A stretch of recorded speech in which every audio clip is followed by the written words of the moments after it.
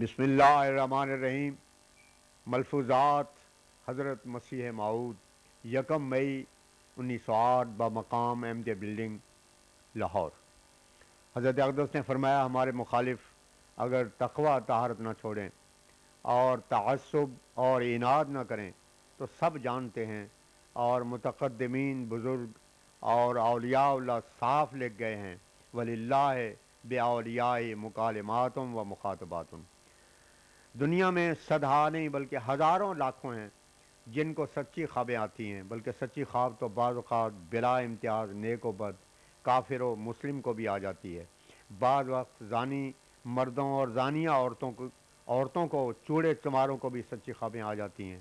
پھر مومن کو، جو کہ بوجہ اپنے ایمان صحیح کے، ان سے بڑھ کر اس بات کا مستق ہے، کیوں سچی خواب یا کشوف اور الہامات نہ مانے جاویں بلکہ مومن کو بہت بڑھ چڑھ کر یہ سب باتیں میسر آ سکتی ہیں۔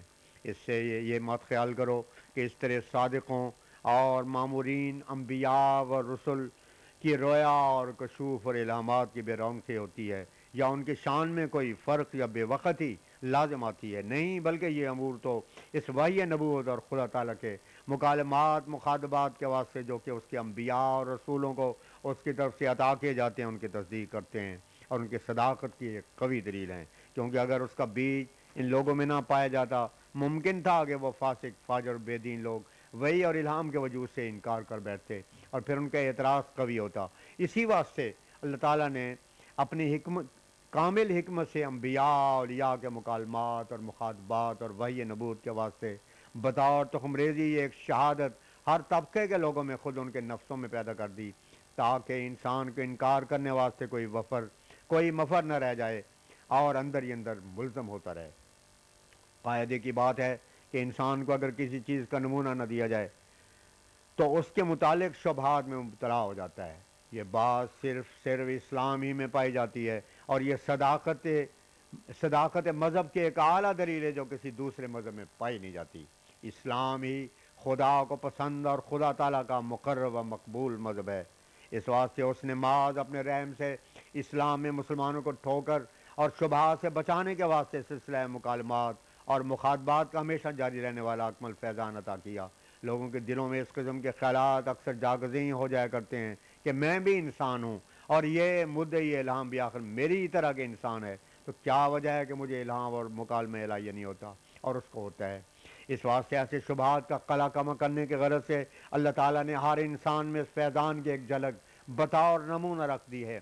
دیکھو جس طرح ایک پیسہ لاکھ دو لاکھ پیسوں کے وجود کے لیے اور ایک روپیہ کروڑ دو کروڑ روپہ اور خزائن کے واسطے دلیل ہو سکتا ہے، اسی طرح سے ایک سچا خواب الہام کے واسطے دلیل صحیح ہو سکتا ہے۔ سچے خواب بطور ایک نمونے کے فطرت انسانی میں ودیت کیا گیا ہیں تاکہ اس نقطہ سے انتہائی کمال فیضان کا وجود یقین کر لیا جاوے۔ جب ایک خواب معمولی، بلکہ ادنا درجے کے انسان کو بھی ممکن ہے تو کیا وجہ ہے؟ کہ اعلیٰ درجے کے کامل اور پاک مدار انسان میں اس خواب کا اعلیٰ مرتبہ جس کو الہام کہتے ہیں موجود نہ ہو کیونکہ سچا خواب کمالات نبوت کا ایک ادنا ترین حصہ ہے۔ یاد رکھو کہ سلسلہ مکالمہ مخاطبہ اسلام کی روح ہے۔ ورنہ اگر اسلام کو یہ شرف حاصل نہ ہوتا، تو یقیناً اسلام بھی دوسرے مذاہب کی طرح ایک مردہ مذہب ہوتا۔ اس بات کو خوب سمجھ لو کہ اگر اسلام اس فضل الہی اور برکت سے خالی ہوتا، تو یقیناً اسلام میں بھی کوئی وجہ فضیلت نہ تھی۔ یہ خدا تعالیٰ کا خاص فضل ہے کہ وہ اس قسم کے زندہ نمونے اسلام میں ہر صدی کے سر پر بھیجتا رہا ہے اور اس طرح سے ہمیشہ اسلام کا زندہ مذہب ہونا دنیا پر ثابت کرتا رہا ہے۔ اسلام ایک وقت وہ مذہب تھا کہ ایک شخص کے مرتد ہو جانے سے قیامت برپا ہو جاتی تھی، مگر اب وہی اسلام ہے کہ لاکھوں انسان اس سے مرتد اور بے دین ہو گئے، اندرونی اور بیرونی دشمنوں کے حملوں سے اسلام کو نابود کرنے کی کوشش کی گئی اور اسلام کی حد کی گئی۔ پاؤں کے نیچے روندا اور کچلا گیا۔ خود مسلمانی کا دعویٰ کرنے والے دین کی حقیقت سے بے خبر ہو کر دین کے دشمن ثابت ہو رہے ہیں۔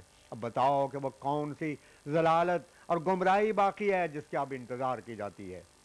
عیسائیوں میں پادری فنڈر کی کتابیں مطالعہ کر کے دیکھ لو۔ وہ لکھتا ہے کہ اسلام میں ایک بھی پیش گوئی نہیں جو کی گئی اور نہ ہی کوئی پوری ہوئی۔ الف لام غلبت روم والی پیش گوئی کو بھی وہ زنی اور ڈھکوسلا بتاتا ہے کہ حضرت صلی اللہ علیہ وسلم نے نعوذ باللہ واقعات موجود کو دیکھ کر ایسا اندازہ کر لیا تھا اور اس طرح سے پیشگوئی کر دی تھی۔ اس کے سوا اور سینکڑوں کتابیں اور رسائل ہیں جو اسلام کے خلاف لکھے گئے۔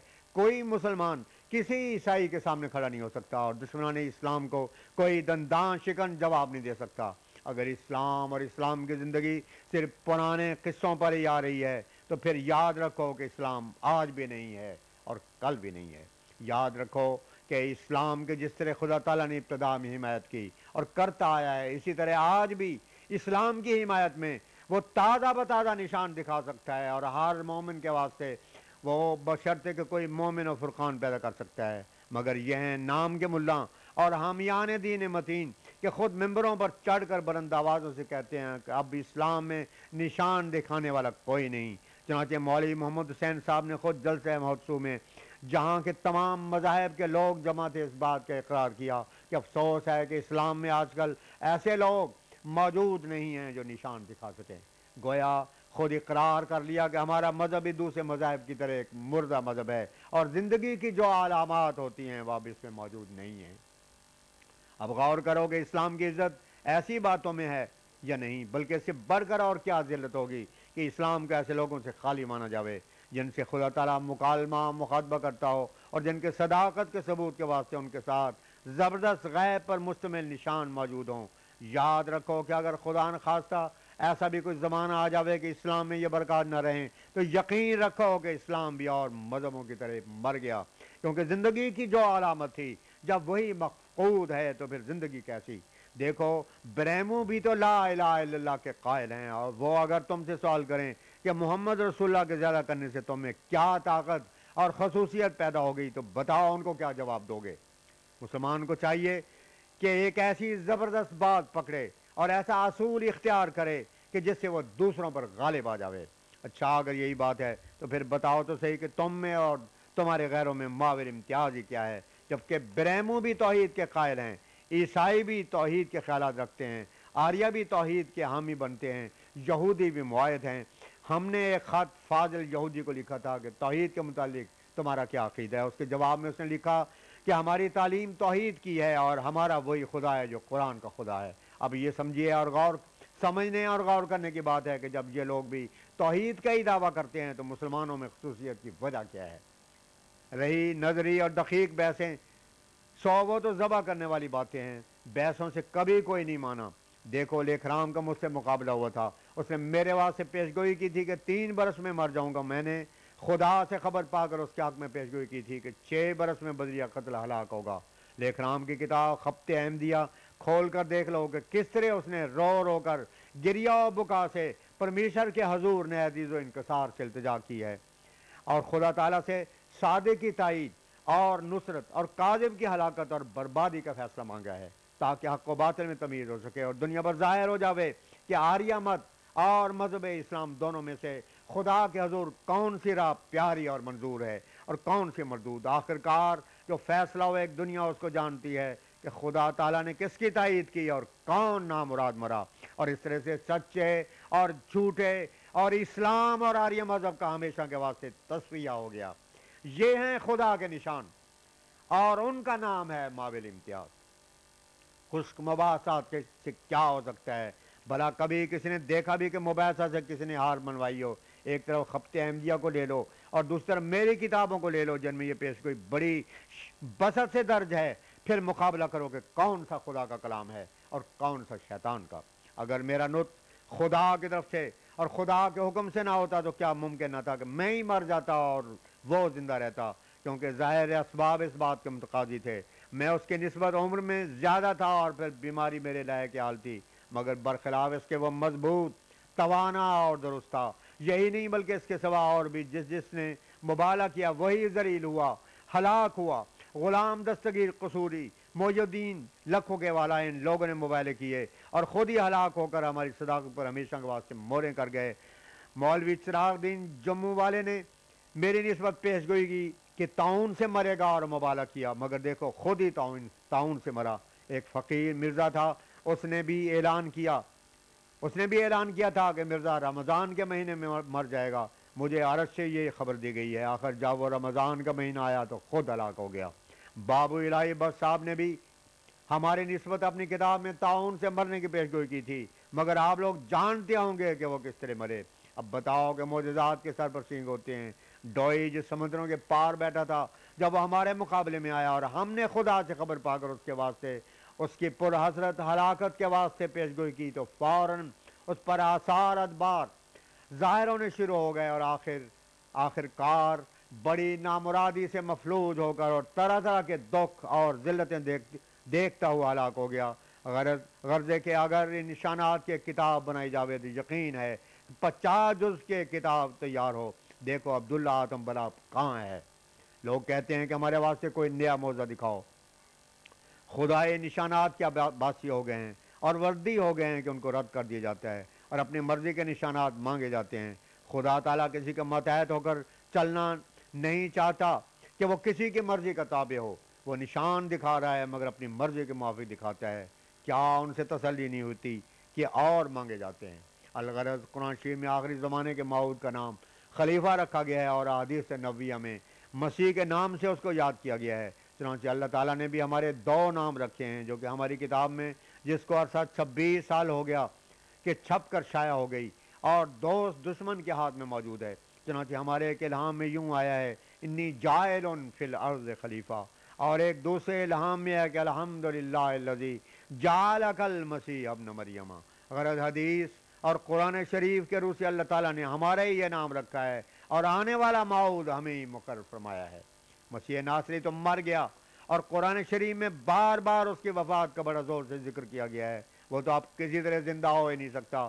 جب اس کی جگہ اللہ تعالیٰ نے ایک دوسرے کو بٹھا دیا تو آپ بھی اس کا انتظار کرنا کیسی نادانی اور جہالت ہے۔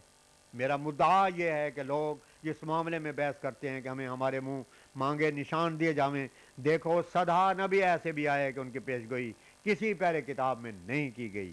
اصل بات یہ ہے کہ سچے نبی کے ساتھ خدا تعالیٰ کی حیبت ہوتی ہے اور جو خدا تعالیٰ کی طرف سے آتا ہے، اس کے ساتھ خدائی نشان اور تائید کا علم لازمی طور سے ہوتا ہے۔ دیکھو، بائبل، انجیل قرآن، حدیث میں جن معجزات کا ذکر ہے، دشمن ان کو نہ ماننے کے کئی وجوہ پیدا کر سکتا ہے۔ تعریف تبدیل کے الزام لگا سکتا ہے اور رنگ کے دوسرے پہلو کے معنی کر سکتا ہے۔ غرض کے گزشتہ امور پر ہی اگر فیصلے کے انحصار اور دار و مدار ہو تو اس میں بڑی مشکلات پیش آ سکتی ہیں۔ مگر اللہ تعالیٰ آرگز پسند نہیں کرتا کہ حق و باطل میں خلط ہو اور حق دنیا پر مشتبہ رہے۔